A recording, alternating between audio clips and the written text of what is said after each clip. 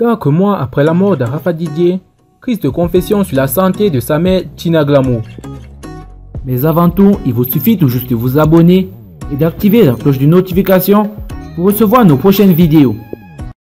Plus de trois mois après la mort de son fils Arafa Didier, Tina Glamour ne s'en remet toujours pas, selon la confession de la directrice générale du média social Iris Media, Marise Ozoa. Sa santé serait considérablement détériorée. Le vide creusé par la mort de son fils Arafa Didier suite à un accident de moto survenu le lundi 12 août 2019 secoue toujours la sulfureuse chanteuse Tina Glamour, mère de la star ivoirienne. Tina Glamour affiche toujours un regard pâle et triste trois mois après la mort de son fils. C'est ce que révèle la confession de Marise Ozoa, directrice générale du média social Iris Media.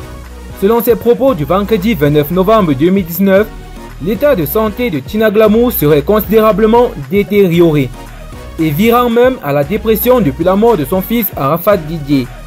Marise Ozoa, la directrice générale du média social Iris Media, a fait des révélations sur l'état de santé de Tina Glamour après que les deux femmes se soient rencontrées au cours d'une grande messe musicale de louange et d'adoration à la salle Anoumabo du Palais de la Culture Benabeng Dadier à Crècheville à Abidjan. La directrice a fait savoir que l'état de santé de la maman du roi du coupé décalé s'était considérablement détérioré. Dès que je l'ai repérée, je ne l'ai plus quittée des yeux. Elle était assise seule dans son coin, tenant sur ses genoux son sac à main, le visage un peu défait.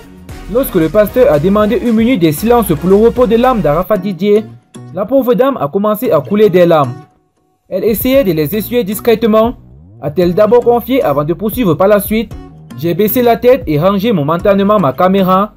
J'ai compris intérieurement que la dame souffrait, qu'elle essayait d'avancer mais que ce chagrin ne partira pas de sitôt. Elle était meurtrie et assise un peu isolée. Non, je ne la quittais pas des yeux. J'ai tout de suite regretté tous mes jugements que je portais sans même essayer de la comprendre. Par la suite, Marise Ozoa a laissé entendre toujours à propos de Tina Glamour que lorsqu'elle est montée sur la scène à la demande du chancre et qu'elle commençait à glorifier le nom du Seigneur, je ne peux pas décrire ce qui s'est passé dans mon cœur et dans celui de tous ceux qui étaient présents. Marise Ozoa n'a pas ailleurs reconnu avoir quasiment compris que l'on n'a pas la même manière de surmonter les épreuves ou d'extérioriser les émotions. Elle a par la suite exprimé ses regrets. Je l'en voulais terriblement et depuis lors j'ai compris